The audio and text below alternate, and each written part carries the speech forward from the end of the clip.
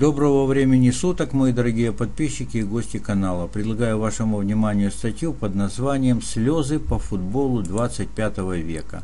Статья написана в субботу 15 мая 2021 года, и так начинаю. А начинаю я, ребята, со стандартного обращения к вам. Если ролик вам понравится, ставьте лайки. Очень прошу вас не стесняться и высказываться в комментариях по поводу услышанного и увиденного. От лайков и ваших комментариев зависит уровень выдачи ролика поисковыми роботами YouTube. А это означает, что все больше любителей футбола и профессионалов смогут ознакомиться с содержанием ролика и канала в целом. Также буду признателен, если поддержите канал в меру своих возможностей. Необходимая информация под каждым видео. А теперь по теме. Я вообще-то не очень большой любитель комментировать высказывания современных футбольных тренеров. Во-первых, их бесконечное множество, а во-вторых, все эти высказывания вызывают как минимум грусть, а как максимум сердечную боль. Подкаст же, который я решил прокомментировать, попал в фокус моего внимания только лишь потому, что парни замахнулись на 25 век. Я в своих творческих фантазиях заглядывал в 22 век, но дальше даже не пытался, так как понимал, что это уже удел либо ясновидцев, либо самого Творца. А тут бах, ни много ни мало, сразу 25 век. Амбициозность ребят, как и любовь к футболу, на лицо. Это меня очень привлекло и посеяло надежду на то, что я услышу вещи, которые будут созвучны с постулатами, аксиомами и принципами новой футбольной идеологии, автором которой является ваш покорный слуга. Извините за нескромность. Но сталось не так, как гадалось. Те мысли, которые я услышал, если бы футбол развивался в нужном направлении и не пробуксовывал, актуальны и современны для конца 90-х годов прошлого столетия, но никак не для 25 века. Услышанное меня разочаровало. Когда я слушал этот подкаст, моя душа плакала. Я так надеялся, что ребята выскажут мысли, которые будут актуальны и современны для конца 21 века услышать что-то о 22 веке я даже не мечтал, не говоря уже о 25-м. Оказалось, что я слышу рассуждения в формате старой футбольной идеологии. Впрочем, старое и новое я сравнивать здесь не буду. Задача, которую я поставил перед собой, это прокомментировать мысли авторов подкаста и показать, насколько они диссонируют или гармонируют с мыслями автора этого канала. Начало подкаста обнадеживающее. Да, чуть не забыл. Вначале я хотел весь аудиоряд подкаста порезать на кусочки и прокомментировать каждый из них. Но потом я отказался от этой идеи, так как не уверен, что меня не обвинят в нарушении авторских прав и несанкционированном использовании информации других авторов. Поэтому решил цитировать авторов канала, но не дословно, а передавать точный смысл их высказываний. Точность смысла я гарантирую, так как у меня нет мысли кого-то оговорить, оклеветать и так далее. Итак, я начинаю. Вот первая цитата, самое начало подкаста. Цель нашей работы – показать, что футбол – это одно из ярчайших проявлений творчества в жизни человеческой цивилизации. Моя реакция – замечательная и великолепная мысль. Браво, ребята! А дальше российский тренер рассказывает, как в Российской Федерации строится обучение в футболе. Мы тренируем быстрого игрока, вот цитата, мы тренируем быстрого игрока, мы тренируем отдельно быстроту, потом мы отдельно тренируем технику, потом мы отдельно тренируем тактику, и потом выходим на игру и хотим это соединить. Конец цитаты моя реакция. Это дословная цитата, и это очень важно, потому что она зеркало старой футбольной идеологии. Далее российский тренер рассказывает о том, что он подчеркнул, почерпнул на курсах Барса Коуч, пройдя первый модуль обучения. Оказывается, что существует каких-то 8 структур обучения, где одна из них физика, другая скоростно-силовая подготовка, третья мозги и так далее. И гениальность философии Барса Коуч заключается в том, что все эти структуры должны работать вместе. Да, поржал я от души. Так это же и коню понятно, ребята. Если это передовая мысль футбольных ученых Барсы, то мне становится очень и очень грустно. Цитата. «Они это обосновывают науками», — сказал Игорь. «Какими науками, друг сердечный? Может быть, теми, которые до сих пор не дали определение ключевому понятию в футболе «футбольная команда»? Может быть, теми, которые вперли в тренировочный процесс тесты Купера, которые были разработаны для военных Соединенных Штатов Америки? Может быть, теми, которые не знают, что тактика без стратегии существовать не может? Может быть теми, которые не знают, как сформировать мотивацию к самосовершенствованию футболиста, не говоря уже о том, что это такое вообще, очень грустно, что вы, молодые ребята, как и ваши учители, заглядываете в рот с упоением футбольным мыслителям Европы и даже не пытаетесь мыслить критически, хотя кто знает, может быть и пытаетесь. Хави как-то сказал, что футбол – это игра пространства и времени – я не знаю, его ли это мысль, или это мысль того, кто его обучал, или жил еще до него. Мне все равно. Для меня важно, что это гениальная мысль, а как известно, все гениальное просто. Если придерживаться только этой мысли, то уже можно понять, как обучать, тренировать и играть в футбольных матчах. Интервьюер спрашивает, какая, мол, главная идея в российском футболе, на что тренер «Локомотива» честно ответил. Кто кого перебьет, кто кого перебегает. Спасибо тренеру за честный ответ. Это и есть главная футбольная идея современного постсоветского футбола. Этот подкаст довольно емкий, но моя задача не комментировать каждую фразу участников беседы, а выделить те моменты в их разговоре, которые я считаю значимыми. И так продолжаю. Ребята говорят о том, что темп на тренировке должен быть таким, как в игре. Моя реакция – это грубая ошибка. Цель любой тренировки – это качество, качество и еще тысячу раз качество исполнения как отдельных технических элементов, так и игровых фрагментов. Только после того, как отшлифовано то, над чем работали, тогда уже можно добавить интенсивность. Почему интенсивность тренировки не должна равняться интенсивности игры? Если команда не тренируется ежедневно, то это бесперспективно в плане успешной игры. А теперь представьте, что у команды каждый день игра. Что будет с игроками через неделю?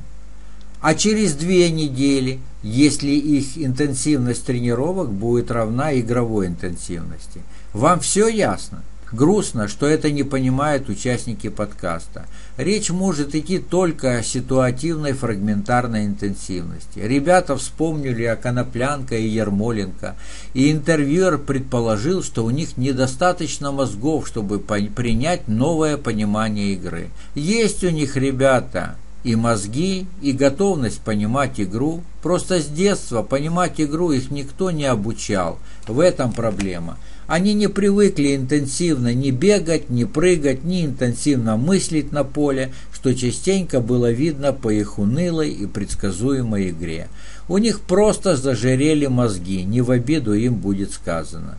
Эти ребята очень способные, но не их вина, что они родились не в то время и не в том месте. Два слова о химических связях игроков. Было что-то сказано и о языке общения на поле, но ни слова ребята не сказали ни о полевом языке жестов, ни о языке жестов общения тренера с игроками, с игроками во время игры. Очень грустно, что ребята еще до этого не дотянулись. Говоря о химии взаимодействия игроков, нужно еще понимать, что все это моделируется морально-нравственным воспитанием. Ребятам не вдомек, что команда – это духовный монолит, одна из граней которого – высокий морально-нравственный уровень. Затронули игру и взаимопонимание Хави и Иньесты. Все правильно, но не нужно забывать, что они больше тысячи раз за матч крутили головой, без чего в современной игре обойтись невозможно.